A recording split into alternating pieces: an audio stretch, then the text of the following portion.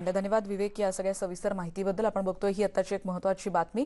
आणि यानंतर आपण बघणार आहोत आम्ही आमच्या बायजूस यंग जिनियस या विशेष कार्यक्रमात. याआधी आविष्कारी शौर्य भसीन याची भेट तुम्हाला घडून आणलेली होती. आणि आता बघणार आहोत आमच्या कार्यक्रमात आल्यानंतर त्याला कसं वाटलं आणि त्यांचा अनुभव कसा होता?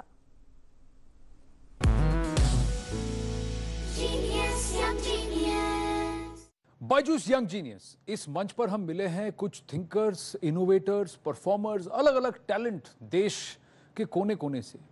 एक ऐसे ही बहुत ही होनहार बीरवान हैं शौर्य। चलिए शौर्य से बात करते हैं। शौर्य नमस्ते। कैसे हो आप? नमस्ते। मैं बहुत अच्छा हूँ। कैसा रहा आपका एक्सपीरियंस मुझे जरा बताइए।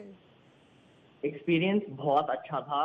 जब पहले मुझे थोड़ा सा मैं थोड़ा सा नर्वस था पर फिर जब मैं सेट पर आया था फिर बहुत कंफर्टेबल हो गया था क्योंकि वहाँ पर बहुत अच्छे लोग थे। क्या था आपके लिए सबसे मेमोरेबल मोमेंट सबसे मेमोरेबल मोमेंट था जब मैं अंदर आ रहा था और मैंने एक्चुअली पूरा सेट देखा और and I got to meet you अरे सो स्वीट ऑफ़ यू पर आप सोनम वांगचुक जी से भी आपने राब्ता किया उनसे भी आपने बात की?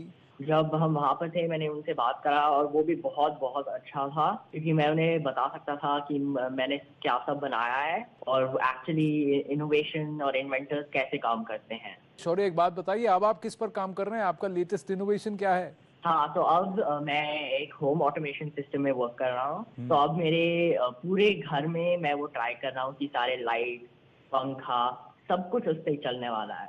Done all the very best, Shaurya. So good to speak to you. Thank you.